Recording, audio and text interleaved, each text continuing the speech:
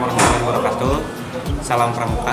Perkenalkan saya Bahri Hidayat sebagai Ketua Pelaksana Scouting Skill Jawa Barat tahun 2023. Di kegiatan scouting di kegiatan scouting skill ini kita uh, melakukan inovasi terbaru dari gerakan pramuka di mana kegiatan ini kita kemas dalam bentuk sertifikasi pelatihan beserta sertifikasi kompetensi. Eh, uh, di sertifikasi ini kita melakukan pendekatan terhadap isu-isu kreativitas digital di mana sudah seharusnya pramuka hari ini berbicara tentang uh, digitalisasi dan uh, adaptasi terhadap perkembangan zaman.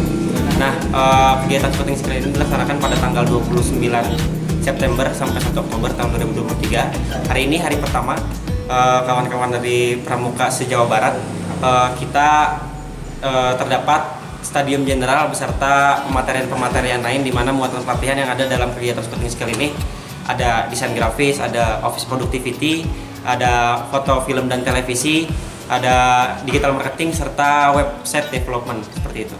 Jadi uh, selama kegiatan berlangsung kawan-kawan akan menerima pelatihan selama tiga hari serta di hari terakhir kawan-kawan dari peserta ini akan melakukan pameran tugas di mana si uh, pameran ini berupa presentasi terhadap produk-produk lokal yang dibawa oleh masing-masing kontingen cabang seperti itu. Baik, uh, seperti itu kurang lebih terkait kegiatan scouting skill.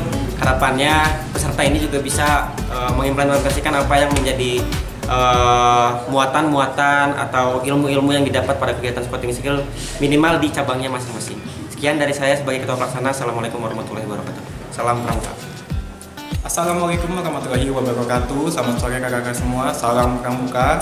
Perkenalkan, nama saya Kak Dika, saya dari kontingen Kota Depok uh, dan saya saat ini mengikuti kegiatan Scout Skill yang diadakan oleh DKD Jawa Barat tahun 2023 ini.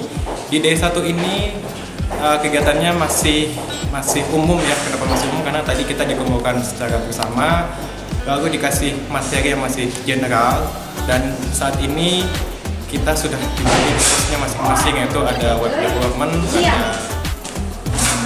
ada office uh, production terus ada desain grafis, ada foto dan video dan juga ada banyak lagi. Jadi stay tune di uh, di kegiatan ini. Itu aja bisa saya sampaikan. Wassalamualaikum warahmatullahi wabarakatuh.